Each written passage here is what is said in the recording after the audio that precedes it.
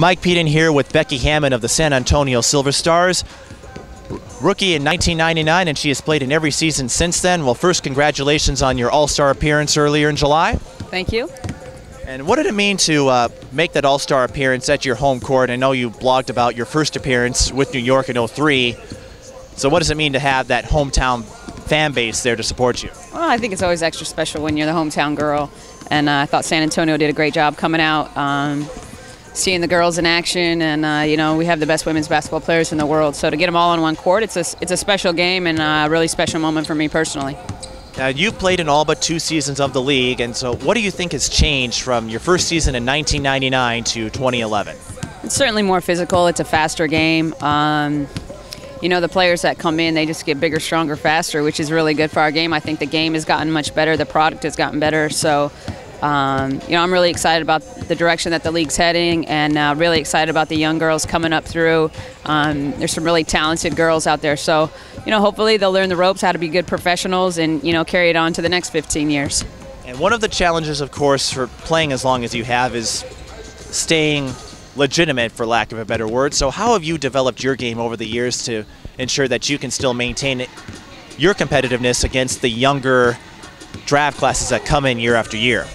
I think there's no substitution for experience. So I try to come in and just um, use my experience, use my brains, the, the, situations that I've been in. You've been in a, when you've played for as long as I have, I mean, you've been in a lot of timeout, after timeout situations. You've been out, you know, end of game situations. You've been in a lot of different experiences. Um, so uh, back from 1999 till now, I, you know, I think probably the greatest asset I have has always been my head and thinking the game. So that's what I continue to use. And, um, you know, just taking care of your body and making sure you're eating and doing the right things off the court that will help you uh, produce on.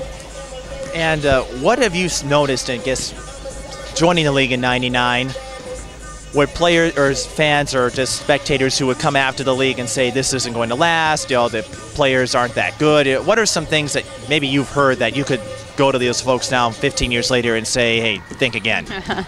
well, I think uh, there's a lot of ignorance about the, out there about our league, and um, I think a lot of people that kind of hate on the league have never even been to a game. They've never watched it. They just kind of that's what so and so said on ESPN, and so that's what they believe or whatever. So, um, you know, we just come out here and we compete, and uh, if you like our game, great. If you don't, um, you don't have to come. But uh, we've we've shown a lot of longevity, and um, you know, like I said, the product keeps getting better and better, which is always good when your product is better. So.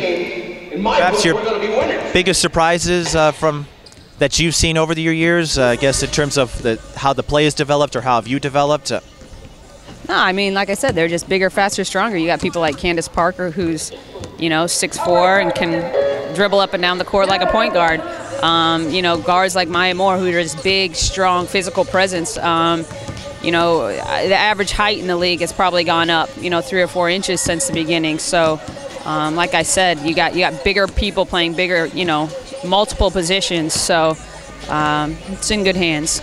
And as you have a point, you mentioned before the season, you had mentioned that San Antonio people thought they were going to stink. That hasn't happened, and there's still half a season left. But in your case, you talked about how the players are getting taller and things like that. What do you think you brought to San Antonio now that you've had a few years to adjust? Um, you know, just a presence. Uh, you know, like I said, my experience and my leadership, and just they've already put a lot of great pieces together. So I was just coming in and, and doing what was asked of me. And San Antonio's obviously responded very well as as our team. So we just want to keep moving in the right direction. And last question: anyone you want to say hi to, or any tips you want to give to fans who might be watching? Nah, dream big and uh, work hard. That's it. Thank you, Becky Hammon, and uh, good luck today. Thank you.